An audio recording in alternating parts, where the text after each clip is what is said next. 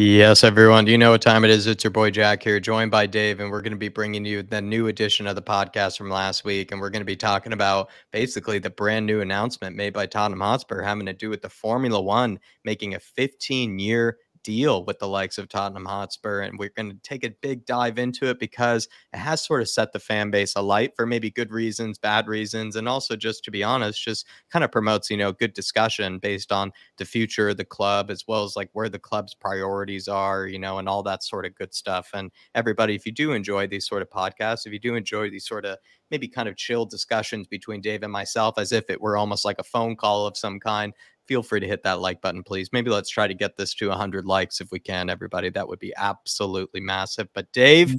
how are we? Yeah, Jack, I'm in a good mood. I mean, how can you not be in a good mood after beating the bubble merchants and the flower enthusiasts back to back London Derby victories? And uh, look, you know, I'm looking forward to tomorrow as well. Uh, the pressures of the Premier League is off us, and we're in the FA Cup, which I feel is a bit more of a sort of like a carnival atmosphere, which I enjoy. By the way, stay tuned for the pre-match pump up and the watch along tomorrow. Of course, every game day, all day is dedicated to the game. So make sure you tune into the Irish Hotspur for all your game day action. But Jack, we do have some things to talk about today. Um, and it is the Formula One sponsorship that has been announced. Now, there, there are some, I, I'm going to be honest, for me personally, I think there's some positives towards it. And there are some maybe criticisms that I've picked out that I think are just unfair. So look, let's read out the statement and then let's get into it. I'm going to read out the statement to everybody, and then I'm also going to read out, you know, some of the, you know, the key details you could say uh, from the likes of Football London, of course. But Tottenham Hotspur have announced a 15-year strategic partnership with Formula One. The agreement will see the world's first in-stadium electric karting facility in London's longest indoor track, based below the South Stand at Tottenham Hotspur Stadium. The new facility, which is due to open in autumn 2023, will include separate tracks for both adults as well as juniors. It has been accredited by the National Karting Association, making the facility a potential future revenue for National Karting Championship races, everybody. The new experience will also include interactive motorsport activities and food and beverage facilities, of course. It will also add to the range of activities at Tottenham Hotspur Stadium, with the Dare Skywalk apparently proving to be a big hit in the capital, according to according to Football London. Uh, Tottenham have also confirmed that the karting experience will be the focal point of the long-term relationship between the club and Formula One that will aim to create apprenticeship and career opportunities for local young people, everybody, and bring greater diversity to the motorsport industry in general. A, a, driver academy program will also help increase the motorsport talent pool and possibly help to identify the next generation of Formula One drivers. Levy had some quotes on all of this, and he said, Since building the stadium, our ambition has always been to see how far we can push the boundaries in delivering world class experiences that will attract people from around the world all year round. He went on further to explain to the club's official website, saying that we have been able to bring the biggest names in sport and entertainment to London N17. We are extremely excited about what this long term partnership with Formula One will bring to our global, national, as well as local communities. And so, Dave, I have a you know a question. I think we're going to go down a lot of different you know sort of rabbit holes and kind of mm. discussion mm-hmm. points. So everybody, just sort of you know brace yourself for maybe what could be a bit of a you know a big conversation here. And you know it might not be the most organized, but I imagine we'll get to some sort of you know good answer as well as just some sort of good discussion mm-hmm. on it. But lots of positive as negative reactions to all of this, of course, Dave, and uh, plenty have of course mocked even this announcement with the age old mockages of uh, another one for the trophy cabinet. And uh, I think another one of my favorites has been, you know, Spurs sign Formula One, but can he actually play at center back? Are all about Twitter, I feel like, at the moment. And in all seriousness, though, I feel like the question still remains that does this benefit Tottenham Hotspur on the football pitch, or is this maybe just another money making scheme for ENIC to line their own pockets? Look, Jack, it's one of them that I think, unless you keep an eye on where the where the uh, profits generated from these activities actually go into, and you have a, a detail, an account detail by detail of exactly how they process that money into Tottenham Hotspur Football Club and how that money then affects transfer budgets and stuff like that, which is the whole idea is supposed to help plump it up so that we can attract better players to this football club. I think you'll never really truly under you'll never truly really get the answer to that question. But look, me personally, Jack, I actually have no problems with Tottenham creating revenue streams that are not solely reliant on income from football matches, tickets, beer, food, merchandise, uh, TV revenue. I actually think it's a good thing as long as the money to build it, you know, that it does not affect transfer budgets, which then has an impact on the football pitch, which is what Tottenham Hotspur fans ultimately care about. They don't care about any of this other stuff going on around. They ultimately care about what's going on on the football pitch. So as long as the profits generated from this in the future go back into the football side of things and we see it replicated on the pitch, yeah, I, I, actually have no problems with it. Um, now there are some criticisms, like I said, which I'll get onto further on. But I do I do think it is yeah. important to maybe touch on the first part of the statement, Jack, or, or the first part that maybe I want to touch on, which is the actual benefits to the local community, because I sure. don't think that should get lost with everything else that we're going to speak about next. Yeah, I feel like when it comes to the local community, everybody, it might be important just to bring out some of those quotes. And also, again, they kind of, you know, brought this up here saying that Tottenham have confirmed that the karting experience will be a focal point for a long term partnership between the club and Formula One that will aim to create apprenticeship as well as career opportunities for local young people and bring greater diver- diversity to the motorsport industry in general. And they're even creating a driver academy program at Spurs, which will also help increase the motorsport talent pool, they're saying. So it's basically not just, you know, a place for people to have a nice day out, you know, just ride some karts around the track. It's actually even also going to maybe sort of be, you could say, a place for people in the local London area, especially that local North London area, who might actually never really have had maybe the previous opportunities or the previous access, you could say, or even privileges, you know, to be able to mm-hmm. access that type of, you know, facility, access that type of resources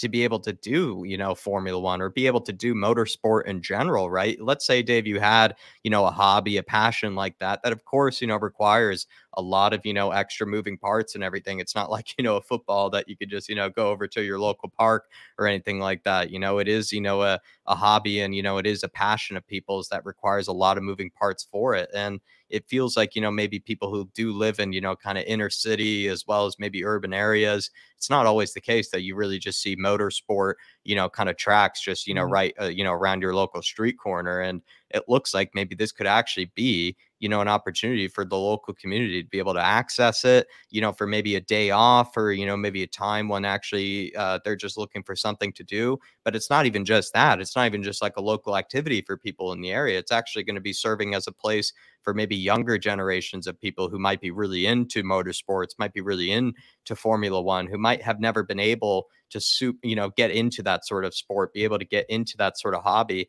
And now they kind of can through that sort of apprenticeship program, those, you know, career opportunities that they brought up as well. So I feel like that sort of stuff you can't really get too angry about. And in fact, almost seems like kind of a good thing at the end of the day because I also wanted to say too that compared to the, all the other revenue streams like Beyonce concerts, NFL games, and things like that, I would say this one is probably a bit more kind of you know uh, I would say has a bit more touch to the lo- local community than mm. some of the other revenue streams that they do. You could say some of the other revenue streams that they have, like the NFL and whatnot, are probably a bit more self-interested, for lack of a better term, probably a bit more self self-interested, you know, kind of revenue streams. Whereas this one, let's be honest, it has more, you know, benefit to the local community as well as for future generations of the local community than maybe you know other revenue streams like Beyonce concerts in the NFL look, Jack, I think that's actually a key point. The fact that the NFL, you know, the rugby league that comes there, the Beyonce concerts, the boxing, you know, things like that that come to the stadium. The only way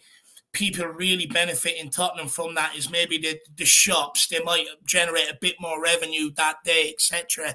Some of the happen to be a fan of it. Hotspur, but it's yeah. mainly self interest. It's mainly the money is going into Tottenham Hotspur um, itself. So it's not really benefiting the lo- the wider community too much. Whereas this one actually it does benefit the wider community. And I, look, when you look at Tottenham Hotspur, we are in the heart of Tottenham Hotspur. We are along the main road, along the high road of Tottenham Hotspur. We are sunk right into the community, and I think a good football, a good football club, does look to help the wider community around it. You know, look to. Yeah help them grow and stuff like that. So I think, you know, I do think that's a good thing that it, it, this one, like you said, is more serve, it is looking to offer the, the community things. And what I mean by that is yeah. it creates employment opportunities, apprenticeship opportunities, and career prospects for the people of Tottenham. And and my, my my biggest thing on this, they have to go to the people of Tottenham. I don't want them to go to anybody outside traveling in because it's a well-paid job, etc., etc.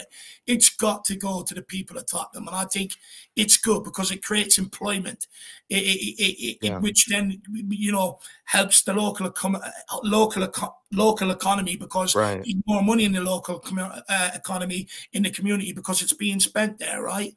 Apprenticeships. I think it's great for young people, apprenticeships, you know, because me personally, Jack, I wasn't the most academic in school, but I'm good with my hands. And there are people out there like that. And school doesn't cater to people like that. Right. And apprenticeships are great for young people like like me who maybe are not like what you would call book smart but more hands-on it's good for them it creates a good um, sure. opportunity and a way out for them as well um, you know any young person that maybe live around the area that look maybe don't like football, but exactly. you know they, they do they do like watching Formula One, but then they're sitting there going, well, you know, we can never get into that because look, let's face it, Formula One is is a money is a money sport. It more caters to the elite. It's only the elite that can really afford it. They go to the most expensive cities across the world. They or like I even said, like there's no Formula One facilities that or motorsport uh, facilities that I know of in any city of any kind. They're always kind of maybe more in the rural areas or more in kind of areas where there's a bit more space for that kind of thing. And sometimes people just happen to be born, you know, maybe uh, like a kind of an urban sort of area where there isn't even the space for that kind of thing. And Spurs mm. have found a way to put it underground and everything for that type of, you know, opportunity, which I'll be honest, I haven't even heard of something like that, you know, an indoor kind of facility underground, you know, like that as well. And that's the thing, right? Is it's giving opportunities to people who maybe as well just just happened by you know by by circumstance just happen to be born in places where it's just not really easy to have that sort of space for that kind of thing i think also golf can be one of those sports too like sometimes it's hard even i love golf dave and it was hard to you know could be a good golfer it was hard to even mm. do golf at all like since i grew up in the city and everything you know there were no mm. golf courses you know right around the corner or anything like that well, and so you only got to do it so often and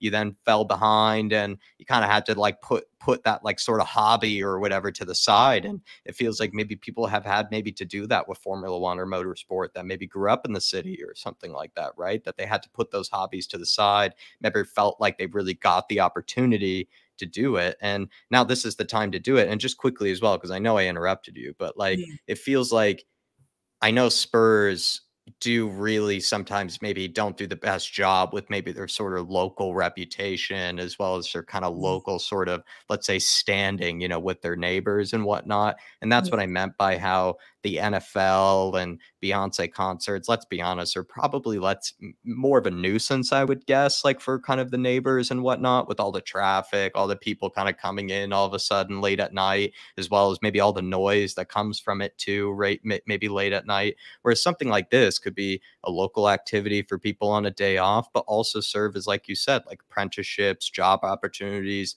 those sort of things, which I think would have a you know give Spurs a better reputation and a better standing in the local mm. community as well. hundred percent, hundred percent. But as well, like what the point I was going to get at as well is sure. look, be a Formula One driver it takes a lot of money, Jack. You look at you, you look at uh, a lot of Formula One drivers. You look right. at the background; they come from parents that are very wealthy, that right. have a lot of money to put in the sport. Because you have to travel all over the world. You have to get your car all, all over the world to be able to compete in these competitions, to try and win sponsorships, to try and one day, you know, hopefully get taken on by a Formula One team. So That's it costs an awful lot of money. And you know, the, the reality is with the way the world is, Jack, is you know, 1% of people can really afford to do that. The others can't really afford to do that. So, you know, by by having this there, it gives them the opportunity to develop and and and and um, you know apply apply their skills and then hopefully get picked up or sponsored mm. by somebody or put in front of an eye where maybe they may not have had that before. So it does create maybe an alternative career for somebody in and around that area, which I think is is absolutely fantastic. And lastly, another thing is I think it's very good for the young people, Jack, because look, you know, all over the world you've got, you know, especially in big cities, right? You've got a lot of trouble, a lot of a lot of crime, this, that, and the other. And it's kind of like mo- most of it is generated out of boredom because there's nothing for right. kids to do, for young people to do. So the more activities that there is for these for these younger kids to do, the less likely they are to get involved in the sort of, you know, misdemeanors, crime, being a nuisance, etc. So I think it does serve its purpose in that regard to the local community. But I do think it's important that Tottenham don't lose sight that, you know, they've got to keep it affordable, affordable to the people that right. they're trying to pitch this to. You know, they're they're put pitching it across as it's good for the wider community. So the trick is, and the key is, and the main thing is, they've got to keep it affordable to these for people, everyone, not go in the way Formula One prices uh, direction is going. They've got to keep it low. Um, you know, affordable to the people and accessible to the people in the local community yeah. if if it's to benefit of the local community the way they say it is. And I think the overall point that we're trying to make here about the the benefits of the local community is is that sort of some people have said in the past like I really don't have much issue with the NFL game seems like a great way for the club to make money or some people have said right don't have much of an issue with the concerts seems like a great way to make money. I would make the case that this is less contentious this is less of maybe uh like I brought up before for lack of a better term, this is less of a self-interested sort of kind of money revenue stream than maybe the other ones are. And so if you were to maybe be upset about the ways that the club are kind of, you know, maybe trying to make it more like an entertainment complex, etc., I would say this one seems to have some more sort of positive lights to it, some more positive sort of kind of you know notions to it that maybe the NFL games do, and you know the team shop becoming an NFL shop or like the Beyonce concerts and things like that. Because this does seem to have at least the the standings and the foundations of a a long lasting sort of relationship with the local community. And I don't know if that was really the case exactly with the other revenue streams and whatnot. So I um feel like if you were to be upset with the diverse revenue streams. And I think we're going to get into that as to why people would be upset with it. I would maybe make the case, and people can welcome to disagree me. Feel free to do it in the comments, everybody. But I feel like this one would be one that's, you know, has a bit more complicated, you know, not as black and white. You know, it feels like this one is a bit more beneficial to the local community than the other revenue streams. I just, I just want to highlight as well that we fully understand, obviously, the money that and we're not from the local community, so we can't speak for them either. no, no, but I, I, I, want to point this out. Like we're well aware that there is self interest in this for the club in terms sure. of money, revenue, etc., etc. But the point we're trying to make is that this one does give back a little compared to other ones. Yes. Well said, Dave. Well said, Dave. And uh, I know we have some other points that we actually want to get on this. Like one of the mm-hmm. things I wanted to even say too, though, was that does this really come as a surprise, right? Because after maybe Daniel Levy made his, you know, uh, made his summary of his accounts that were released just recently, uh, he did make, you know, plenty of statements and plenty of, you know, kind of points towards like, you know, they're, you know, maybe searching for bigger revenue streams, more diverse revenue streams. I believe was, you know, the quote, in fact, that they had used when they also responded to the to, to the supporters trust. You know, Daniel Levy said that the diverse revenue streams are going to be a way for the club to be able to increase its transfer budget, but also still allow it to do what it always has wanted to do, which is operate well within its means. But that's the thing where maybe people get a little bit caught up on is because they feel like the club could take more risks. They feel like the club could maybe not try to operate as much within its means, especially with all these new sponsorships, right, Dave? Is that when you mm-hmm. keep getting all these new deals in and when you keep kind of, you know, uh, taking away from some of the you know stuff on the football pitch you'd like to think that this man means that they spend more generously they would spend more freely and whatnot but a lot of people i would kind of say rightfully so have some skeptic has some skepticism about that and also are a bit maybe uh, wary about whether this will actually get put all back into the football club, all back into the football pitch, maybe to be more specific. So, mm-hmm. where do you stand on this, Dave? Because, like I pointed out, I don't know if this is exactly in a surprise that Daniel Levy has some new revenue stream lined up. Like he did say that they were going to be kind of ramping that up a little bit. But at the same time, the question always does remain is this actually going to go back into the football pitch? Is this going to go back into the transfer budget? Look, I don't think anyone it would it'd be a surprise to anyone whether you're ENIC in, ENIC out. I, I don't think it'd be a surprise to anyone. You know, the club always announce sponsorship deals. I think people are well accustomed to that.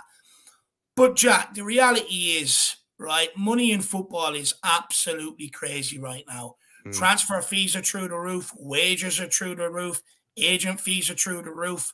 Yeah. Um, match day revenue, ticket revenue, merch, TV money. It's just not enough to compete in European football or even in our own domestic league anymore. If you want me to be brutally honest, and yeah. if, you know, if we're being realistic with it, winning the Premier League, Champions League usually meant that you could go big in the transfer market, gaining an advantage from the prize money that you've earned. Um, but the reality is, again, not even winning that, you know, gives mm. you that advantage in the transfer market anymore. You've got teams in a relegation fight that spend more than the prize money of a Champions League or winning the Premier League. They got Forest signing Keylor Navas, uh, a Champions League winner. you know what I mean? Like it's it's sort of like so. You know the the what I'm getting at is the money from football generating income is no longer enough, or just enough to rely on to be able to compete with the likes of a Man City, with the likes of a Chelsea, who are owned by like Man City by owned by a wealthy state. You know, the guy at Chelsea, money is no object to him. Newcastle United, owned by a wealthy state. Man United have always had a massive, you know, sort of generation, um, um, money generated uh, coming into their club. So the reality is, if we want to compete with them, we can no longer just rely on on on uh, football revenue that's generated by the football. So we do have to have other ways of generating that money, and I think somewhere along the line, whether we like it or not, Jack, I think we have to get on board or accept that this is the way forward for Tottenham Hotspur by bringing yeah. in revenue that's not solely reliant on the football. And the reason why I say that is if we want our club to spend money so we can compete for honours domestically and in Europe on a regular basis going forward from now, we need them extra revenue streams, especially yeah, exactly. we don't want to sell up or change the way they operate and if we're stuck with them, this is the way we have to go with it. Yeah. But having said all that,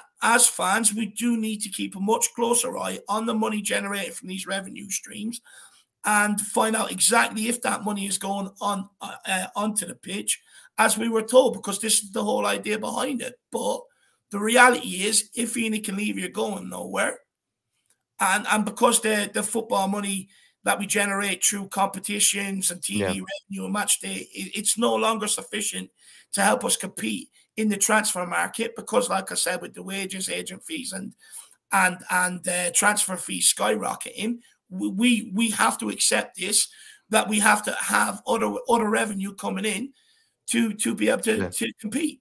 And that's the part I think, you know, that I would absolutely take out of that. So much good that so many good things that you said there. But part I would take out of that is that regardless, ENIC in, Levy out, if you find yourself sort of still stuck with them, like what we all need to then be paying attention to together, sort of as a fan base, is like, is this really going back into the transfer budget? Is this really going back into it? Because some people who might be super, you know, kind of uh, uh, detailed and super kind of you know focused on where the money is going you know we'll be looking at it people who might not be as focused on it still would like to hope and still would like to think that it is going straight back into the transfer budget because what is the point of lining your own pockets with things like that because even if you don't feel as passionate about the owners why would you want to see that them lining their own pockets you know with that type of uh that type of revenue stream and whatnot you would like to think that this does contribute back into the football pitch that this does mean that you know we can revamp the backline more, that we can revamp other areas of the squad sooner rather than later. And so, absolutely, Dave, I do feel like if you do find yourself sort of stuck with Levy and ENIC even further, it is up to us to sort of, you know, may pay attention here as to, you know, is this really going back into it? And it's only just recently since, you know, the ending of COVID, which is crazy to even say, I think still, right? Like sort of kind of post COVID era, it's now like these sort of revenue streams post COVID era starting to flow in a bit more because things are opening up again. Sort of businesses, you know, despite inflation and whatnot, are more willing to invest because they know that there are more, you know, butts being put in seats right now and all that sort of stuff. And people are more, you know, out and about doing activities and going to pubs, doing, you know, sort of things on their day off, like we said before. And it's kind of now where it, Spurs are starting to see the benefits of all these different revenue streams that they actually really didn't in the COVID era, and that's something we probably forget because COVID, honestly, and the the impacts of it on football specifically were so long and everlasting that now we're starting to see Spurs really dip into these revenue streams and really start to kind of open themselves up a bit more. And I'll be honest, I think it's only getting started.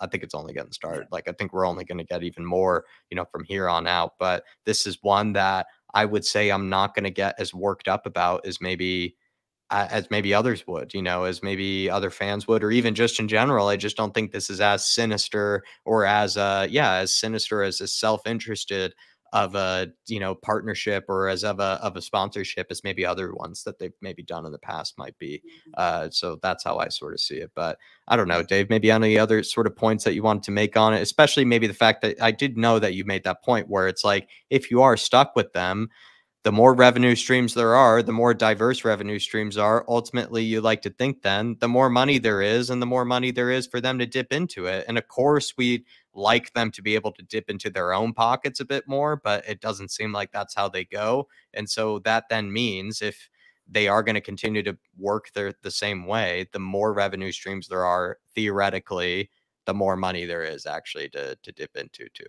And look, that's the key point I was trying to get to, Jack. I think you summarized it perfectly there. That look, we we the reality is we don't have owners that are willing to dip their hands into their pocket and fund this club like a Man City owner, like the Chelsea owner, for example. So, you know, if we have to, because, you know, at the end of the day, it's up to them if they want to sell or not. So if they have no intention of selling, we have to stick with them. Then we have to have other ways of earning the revenue. And then that way, then there should be no excuses for us not to compete if mm. if all these revenues go onto the football pitch, right? But you know, saying that, although I think it, it is something that we we have to accept, there are some things off the back of it that I understand, and maybe I'm getting a little bit concerned by. There's two things. The first one is is that fans are starting to become concerned that our home, our sacred turf, it's not a football stadium anymore, and it's a, hmm. a multi-sports entertainment arena or a tourist attraction, and it's starting to make fans disillusioned or distant from the football club because maybe the football club doesn't share the same ambition or aim as them or what they were used to seeing growing up, which and for me, I think, look, it does expand all generations, but I think I definitely see sort of an older generation sort of becoming disillusioned because right. you and I, I, I want to make this clear. I don't think people should ridicule these people or you know dismiss it as them being childish because it's not. I think you what what you should do is actually try and understand where they're coming from and put yourself in their shoes. Because Jack, these are people that we that have they've seen this this this club pick up a couple of trophies every single decade. Right. And under this ownership, they're seeing that slip further and further and further away, right? And we've got to understand that these are people that, when the football club was reliant on fan income and football income, they kept this club afloat. afloat. They paved the way for me and you to be able to support this football club here today. They're part of why it's there for us to support today. They handed this football club down to us. Exactly. And I do think I do think that the club need to do more to try and communicate with these fans. And they can do that in a number of ways, Jack, where they can, you know, maybe put out their vision a lot more clearly, state it a lot more clearly, you know, and be a bit more ambitious in the transfer market to show that they do care about winning trophies because that's what we all want at the end of the day. Yeah, of course. But someone like me and you because of the way football is changing, I'm a bit younger. I can, and I haven't grown up watching Tottenham win a couple of trophies every single decade. I can sort of understand why we need to generate the extra revenue that we do, but I can also understand why other people don't don't accept it or don't understand it or don't want to understand it or accept exactly. it. I also I can also understand that because they grew up watching this club win a couple of trophies every decade, regardless of how football changed when they were growing up. I think it's important, like you said, Dave, to put yourself in their shoes. The the the, the older fans, the the more seasoned and veteran fans uh, of uh, of Spurs, because when you really look at maybe, especially someone like myself, quite a young fan, like it's probably quite easy for me to accept these sort of changes, these sort of announcements, this sort of, you know, way of the modern game, which is nation states owning clubs, 400 million pound transfers on players, right? Like all these big brand sponsor deals and stuff like that. These are things that, let's be honest, everybody, like I have sort of kind of grown up with, slash, maybe don't even have much of a picture of what it is other than this sort of kind of you know reality in this sort of situation whereas the older legacy fans they were able to see you know maybe when you know clubs weren't you know seeing m&m ads or you know nike ads mm-hmm. being flashed across you know the sidelines or they also even as well lots of fans dave even go way back to when kits didn't even have last names or surnames on the back of you know uh, the mm-hmm. kits it was just a number on the back of the kit as well there wasn't as much individuality when it came to sports there were no you know neymars about and everything with big you know hairdos and tattoos as you know big uh you know names on the back of their kits and whatnot that was also you know a big change and so you have to i do think look at their shoes and see how maybe changes have been have been coming to football and they have had to take every single change and have had to live with it and as well as you know sort of adapt to it themselves and i think it's a bit easier said than done to sort of tell them to move on and live with it and you know just grow up you know you know kind of thing because let's be honest i think it's easier for someone like me to sort of handle these sort of changes than it is for them because they've had to see the game basically turn from one reality to a completely different reality than you know what it probably used to look like you know the modern it was games. more about the football wasn't it? More exactly than finances. Right. now finances play as much uh, if not more important role than the actual football itself because you need the finances to be able to do the football right? So it's kind of like the game has changed like that but exactly. I just think it's a crying shame you know? I do see more and more fans being disillusioned and driven away and i do think that's something that the club need to accept and acknowledge and, and maybe do more to maybe, you know, communicate with these fans. And look, that brings me on to uh, a couple of other points. But, you know, one thing is, is like a lot of the fans are getting disillusioned that it's not a, not a stadium anymore, right? It's more turning into uh, a multi-sports complex slash entertainment center, right? And it's kind of like, how do I put it? That do they have to do it that way, right? It, like they're they're they're very ingenuitive about coming up with ideas. For instance, building the go kart track underneath the south stand and bringing Formula One to Tottenham. So could they not do that in other ways? Like they've already done shirt sleeve sponsors, training gear sponsors. Could they not sell the naming rights to the training ground? Can they not come up with other ways of doing it that doesn't actually affect the stadium? Because what what I think to me, me personally, I go to the football stadium for the football, and that's what I want to go to. I want a dedicated home to football only because it's an escapism, right? You get away from everything. You're in your home with many people that think like you. You go away to escape your problems, this, that, and the other. The last thing you want to do and, and you go there because you're proud. It's a tribal thing. The last thing you want to do is go there and you've got all these other events going on. It's kind of like you just want the football and football only. So I wonder is like rather than turning because it does seem like what they're going to do, and I'm going to tell you about that now in a sec because I pulled off something off their actual official website. But I do think maybe there's other things they can do so that the stadium isn't turned into like a Swiss Army knife, if you like, right? Mm. Where the football is the main purpose, but you have go karting, abseiling, this, that, and the other, right? And God knows what else. You start to forget what the what the real function of it yeah, is. you start to forget what the real function of it is, right? It's like a Swiss Army knife. Originally started off as pen. Is it a knife? Yeah. Is it a scissor? Yeah, got, I know what you're yeah, saying. You've got scissors, screwdriver, etc., etc. So for me, I wonder is there anything else they can do and just leave the football stadium as a football stadium like the Great White Hart Lane was. Now, um, another point I want I want to bring up as well is um, I've got two more on this, and and or actually, so I want to go into what they said on the um, on their actual website. Um, so just give me a second, I'll get that up. So the terminology that they used on their on the actual Tottenham Hotspur website, which I didn't like to be honest with you, Jack, is London's newest sports and entertainment destination. This is, uh, like I said, off the official sports website.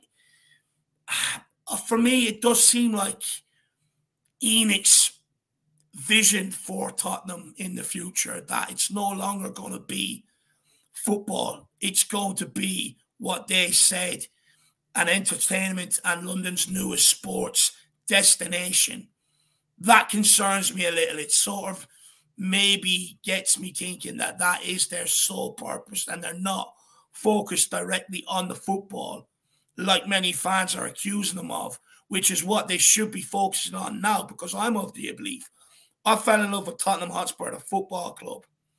And for me, if everything is right on the football pitch and in the footballing structure in terms of the academy, the scouting network, and we're winning on the football pitch, by all means, you know, do all the other side stuff as long as you can keep us and it's keeping us competitive. But when you're not competitive on the football pitch the way fans want you to be, and then you see that, they wonder why fans get angry, right? Mm. That's a good point you make there, Dave. Um, I know you have some other points to go to, but I know you also have a tinfoil hat moment, maybe with a certain Jahm Najafi that maybe we could bring up as well. But I know you have some other points to get to. Yeah, I'm just going to get to this other point quickly, and it's just again, I don't think the people inside the club get it, right? It's just more poor sort of PR communication to the fan base, which is their biggest problem. Fans feel disconnected from Daniel Levy, from ENIC, that they never really know what's going on, that they're always up to say this, but they're always up to something shady. And that's because their communication, their PR to the fans is poor. And it feels like that they feel to me, because this is something that has been in the works for a long time. You'd have to get planning permission to build underneath the South Stand, etc. Right? You know, it would have been talked about a long time ago. And it's like so it would have been signed, sealed, and delivered quite like you know before before today, for instance. But they held it back because we were losing and knew that mm. they knew they'd get a massive reaction, right? But they think just because we've won two London derbies, they think it's okay to sort of come out and announce it. And it's like, again, they just don't understand what the fans' frustration is. It's like, Tone yes, but the fans' frustration is like we've won the last two games. But in general, the fans' frustration is Jack you know, the footballer on the pitch. You know, still having, uh, you know, we still we still have a long way to go in the transfer market to make us yeah. more competitive on the pitch. The scouting department, the youth facilities, not producing enough youth players through the academy, right? You know, these are all the fans' major problems, and they never seem to really address that or understand that. And I'm just baffled that they think because we've won two London derbies, it sugarcoats everything, and all them problems are gone away and they think it's a good time to put it out there, and they're going to get praised for it. That yeah. sort of baffles me. But look, that's all I'm going to say on that. Have you anything you want to say on them? And then no, I, I think you brought up a lot of good points there. I think I expressed what I really needed to say. I think there were so many different avenues that we brought up here. It really is actually quite a, a complex subject, and hopefully we felt like it served some justice to you. But it did feel like Dave maybe too. It was just a slightly a bit tone deaf let's be honest like after yes. you know maybe the the london derbies so i can see I don't like see it as tone deaf as maybe other people do, but believe me, like I'm not going to defend them on it. Like mm-hmm. I could totally vouch for why people could see it as you know a bit yeah. tone deaf after these London derbies, and also like a bit like, geez, you know, getting ahead of yourself, are we? Uh, kind of, uh, mm. kind of, you know, moment too, right? So I could totally understand that. Yeah, totally yeah. Jahm Najafi, or yeah, yeah, you were going to say also. Yeah, I, just, I know you have a tinfoil hat, you know, kind of moment. Put on your no, tinfoil no, this, hats, yeah. everybody. Yeah, look, I'll, I'll put it on loud and proud here. Um, Jahm Najafi owns McLaren F1 racing team.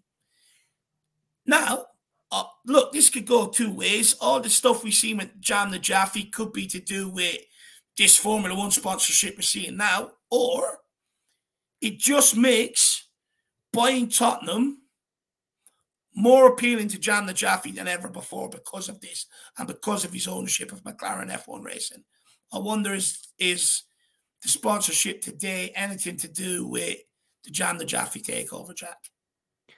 I think it.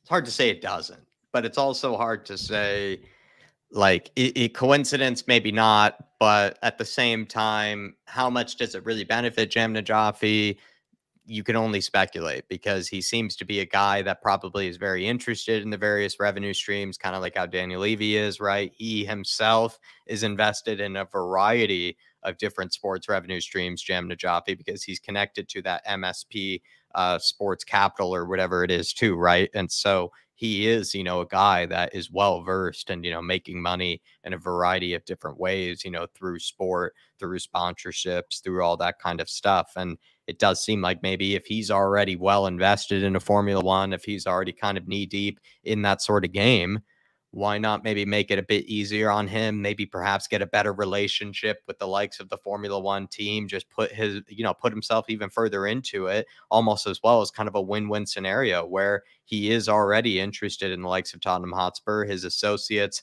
as well as the other people from that i don't know con, you know congregation or you know sort of conglomerate right that are going in for it uh the coalition what would you say of investors that are going into it maybe is sort of kind of as a win-win scenario for him if uh, Formula One is also having a relationship uh, with Spurs.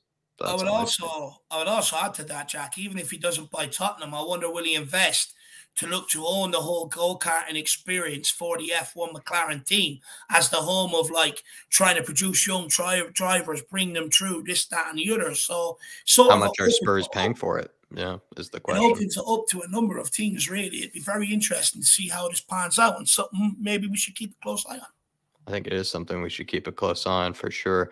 Um, but everybody, I think we're going to leave that sort of you know topic there. Maybe just uh, anybody, please, please, please hit the like button on that, especially if you did enjoy that discussion as well. Leave your comments down below on anything you might agree with, of course, as well as disagree with, because I know there are a variety of different opinions, and I do think they all are mm-hmm. valid when it comes to Daniel Levy, when it comes to ENIC, and when it comes to the future of Tottenham Hotspur, because we all want the same thing.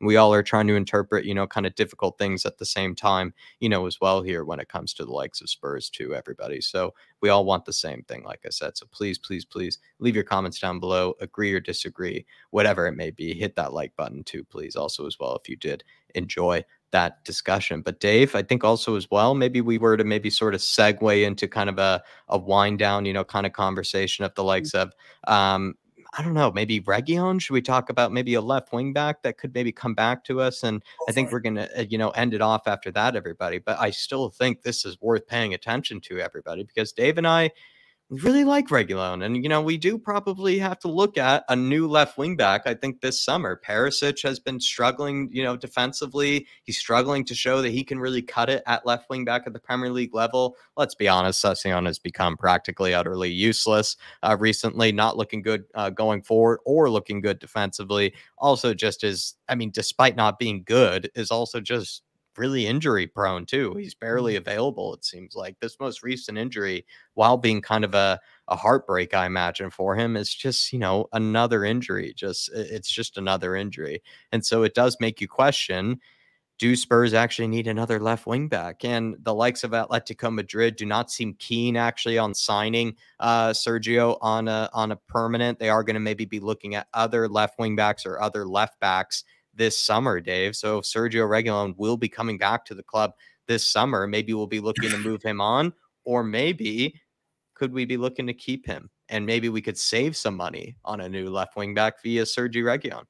Yeah, look, many people are saying, you know, with, with, with Perisic not really working out, we need to sign a, a new left wing back. But, you know, I don't think that's the case, Jack. I think you'll agree with me on this. That look, Ben Davies, I don't think is the long term solution. He's done a job for the last couple of games, but you know, some of the bad performances for me, the damage is done, and that's always going to be there with Ben Davies. So for me, he's not the long term solution there, although it's working out now. Sessegnon, I've said for quite some time, I just don't think the guy's good enough defensively or going forward. And I do believe the only reason why he was kept is because he's English and he helps towards the homegrown quota. Um, and that's why Reguilón was ended up being shipped out to make way for Perisic, right? Um, but look, you've got Udogie coming in this summer. Um, a lot of fans, you know, been keeping an eye on him. Really, really like him. Really like what he's about. Um, and for me, yeah. you know, I don't think you need to go and waste money on that position. I think we had a perfectly decent one there in Reguilón. I like what he's about. I think he was decent defensively. I think he was good going forward as well. I think he offers a lot more than Sessegnon. I think he offers a lot more than Ben Davies. Definitely has the energy and the pace to get up and down like Emerson on the other side. And for me, I think it's a win-win. I think you bring him in and you keep him. If you and if that means you have to register an Alfie yeah. Whiteman as a third choice goalkeeper or register a youngster and and you know to replace Sessegnon as an homegrown um, situation, yeah. I don't care. For me, you know, it's money you yeah. could save and you pump into your centre back, which is a real issue let's be honest, everybody. We have a whole host of positions that we need to upgrade as well as fill and remove players from in order to get players into. It's just so much that needs to be done, I think, this summer. And it feels like left wing back, sadly, is still something that's still left, you know, not fully resolved, not fully done and completed. Like maybe the right wing back position, you could say at this moment in time, considering Emerson's form, considering Porro coming into, you would feel more confident, I think, right now in the right wing back spot, as well as Jed Spence, right? Still on loan. And the likes of uh, then you would say the left wing back position. And so it does make you probably question like, Spurs need what three center backs maybe this summer. They need a new goalkeeper to replace Lloris. Of course, they still need I think some midfield upgrades, maybe two potentially some players to add to the forward line. And then maybe now, when you look at it too, left wing backs are probably going to have to be looked at. And would you rather maybe go for a big, you know, uh, sort of player to compete with the likes of Udogie, or would you maybe just go for somebody that you can save a bit of money on that you still know is good enough to compete at a sort of a level that can make Udogie look over his shoulder, as well as other players playing in that position look over their shoulder? And to be honest, I think Reguilón kind of fits that bill. I've always had a bit of a soft spot for the guy like you have, Dave. I've always thought he had a very good cross on him wherever he could pick people out. Felt like he could hit people, you know, on the floor, you know, kind of played along the carpet, or he could also, you know, put in a big looping cross with a bit of heat on it as well. I think he had a really good motor on him, kind of like Emerson Dave, where I feel like he could get up and down really well, like Emerson does. I think he's actually quite pacey too, Reguilón. And Like, believe me, there was a few times where it felt like he is kind of one of the pacier guys on the pitch. And I don't think he's really as bad of a defender nearly as Perisic or.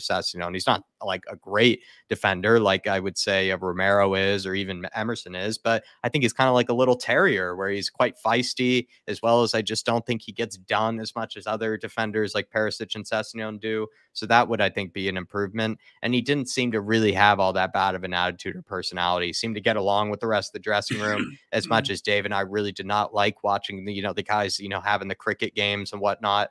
Reguilón was a part of the cricket games. He seemed to get along with people. He's playing Call of Duty with the boys and all that sort of stuff. He seemed like a guy that's kind of people got along with, but sort of fell victim to homegrown issues as well as maybe just not really cutting it towards the end of the season, I think. But I actually ultimately have always thought that Reguilón has been better than Sessegnon, and Sessegnon ultimately hasn't taken advantage of his opportunity when given it to him. Uh, Sessegnon has given a lot of faith, a lot of chances, just hasn't taken them. And maybe we could look at saving a bit of cash here and going after the likes of Reguilón. But if you think that's a little ridiculous, do let me know, everybody. Feel free to disagree with me. That's just how I see it. I'd be happy to see Reggie come back. Got a bit of a, a theory, and I think I'm sort of loosely spot on with this. I think when I look at it, right, Reguilón sort of started coming out of the team last February, last last last January, last February. I think it was the Wolves game I was over there for when um um we lost 2 0 to Wolves right. um, under Conte. That was February. Reguilón sort of started coming out. The team in Session was favoured all of a sudden. Now, I think the reason why that was Perisic was coming out of contract. I think they already knew they were getting Perisic and signed, sealed, delivered. And I think that Conte was told, you know, well, you're gonna whether even though you want Reguilón, you're gonna have to use Session because we have a homegrown quota we need to meet. So Conte then started trying to prepare Sessegnon. It clearly hasn't worked out but he's had to accept it because Perisic was his guy and Reguilón had to be shipped on. Now, for me, like I said, you don't back. believe that Conte and Reguilón ever like butted heads nope. or anything like that? Yeah, no, I hard. think it was purely the fact that Perisic was his guy. He's what he wanted there because every manager wants a player that he's managed previously to come in so that people it helps them get the ideas across their players, gives them someone to get feedback or talk to, or what other players are thinking of his training sessions, him, how, you know, this, that, and the other, right? It's sort of like his eyes and ears in the dressing room and reports back to him. Every manager wants one of them. It helps him translate himself across the playing squad at, already at Tottenham a lot quicker through someone like Perisic. And the way I see it is when, when I look at it, when I see Reguilón starting to come into the team, Reguilón out of the fold, because for me, I thought Reguilón was always better than Sessegnon. Yeah. I thought he got forward a lot more. I thought he got into the box. My biggest problem was is when the ball came across to him in the box, the guy wouldn't hit a barn door with a bulldozer. But he gets down the wing, he crosses, he's athletic, he gets stuck in defensively, and he was all action. He wanted to try and do the right thing. So for me, like you said, Jack, I don't think it was that he butted head with Conte. I don't think it that it, I don't think it's that, that he was a problem. I think that he seen Winks was a problem, so he realized Winks had to go out. So he had to keep Sessegnon for homegrown, and that's what he was told. So he had to go with it. But I would like to see them fit Reguilón back into the squad this season. Especially because, like season. we brought up before, left wing back is going to have to be addressed. And are Spurs going to really buy another left wing back? I really doubt it. So I think they could probably look at maybe bringing a guy back on loan. But Dave, I mean, we had a good, good discussion today on the likes of the Formula One. Uh, we got a little palate cleanser, I think, with uh, Reguilón here as well, but might just leave it there, I think, for everybody, don't you think? You know, and uh, just sort of have everybody. Uh, yeah, Dave, sorry. Sometimes these things have to come with a warning. I'm going to put that out there. The thumbnail was for a bit of laugh. In no way do remember me and Jack excited about go go karting. No way, or you know, or anything like that. It was simply just a bit of a laugh, a bit of a play on the situation.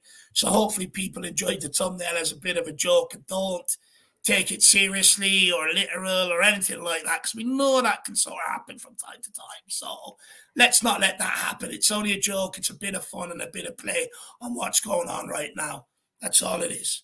And anybody, if you want to support the channel, support the podcast, support the daily content that we put out for you guys, feel free as well to just hit that join link. It's right next to the subscribe, uh, this to the subscribe button. If you haven't hit that already, hit that join link join the Flat Cap Army. There's a Flat Cap membership just to support the channel with all the daily content we bring out there. Fan show membership, of course, as well. If you would like to come on to nearly 20 plus fan shows that we do a month as well, everybody. So if you do want to support the channel as well, feel free to hit that membership. It would be a great way to support us and everything that we do over here. But like I said before, hit that like button, please, on the way out. Let's get to 100 likes if we can. But as always, and you know, regardless of Levy in, Levy out, whatever it is, Come on, you Spurs. On, you Spurs. In Conte, I trust.